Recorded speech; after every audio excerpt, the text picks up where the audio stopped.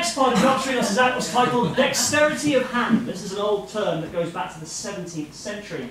What it really means is a demonstration, or as it would have been expressed at the time, an exhibition of sleight of hand skill, which is what I'm going to do for you now using a piece of rope. Would you like to have a look at the rope for me? Enos dressed himself as a Turkish gentleman.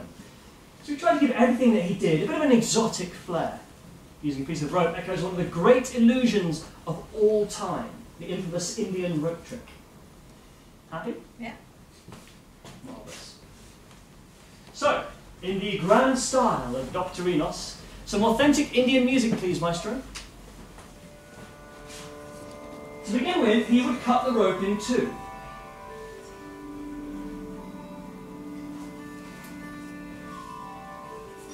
Echoing another one of the great illusions of all time.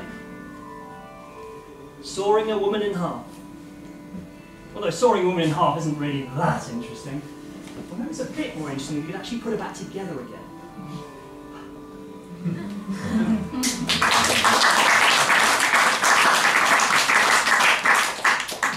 then he would take one of these ends and vanish it slowly into his fist and it would appear at the other end.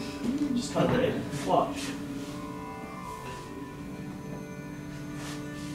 Then he would cast a spell over the audience, making them believe just for a moment that you could make the ends of the rope leave altogether. and you a complete middle, which is really quite confusing.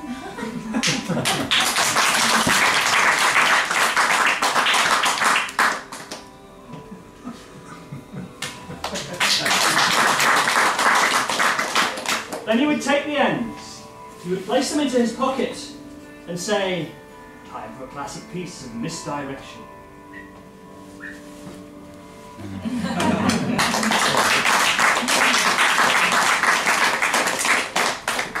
then he would draw you all further and further into his hypnosis.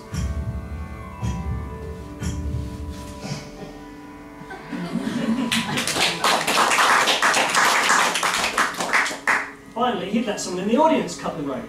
Because let's face it, you can't trust a magician. I ask you to the?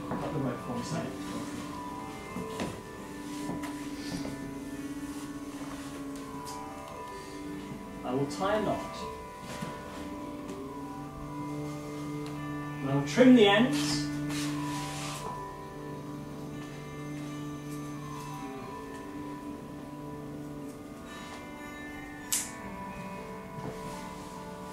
I was to ask you two just to hold the rope for me. Would you just hold one end?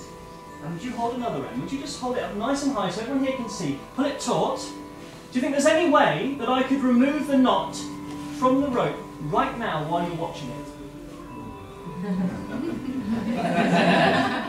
Let go.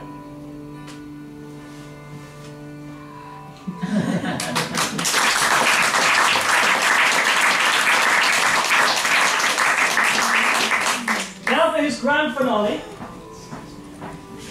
He'd use two ropes for this. He'd use a red one and a white one. In contrasting colours so people right at the back in the gods could see exactly what he was doing. And he would tie a knot in the white rope. He would then swirl the two ropes together in an uber dramatic fashion.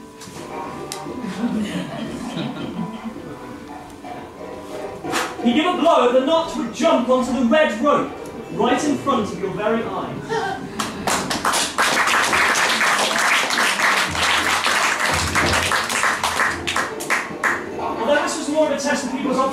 You may or may not have noticed that earlier on in the routine when I removed my bow tie.